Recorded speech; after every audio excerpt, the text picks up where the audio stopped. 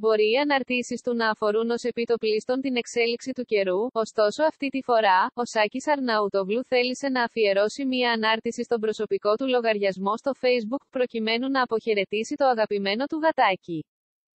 Η Μάγια η αγαπημένη του φίλη όπως έγραψε και ο ίδιος έφυγε από τη ζωή μετά από 16 χρόνια και ο έμπειρος μετεωρολόγος θέλησε να την αποχαιρετήσει με τον πιο γλυκό τρόπο.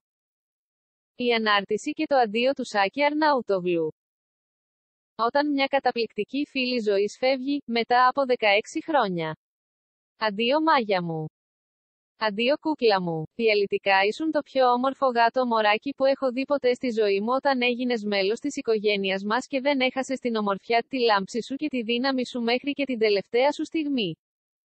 Μας χάρισες απίστευτη αγάπη, αμέτρητες στιγμές χαράς, αγκαλιάς και ζεστασιάς.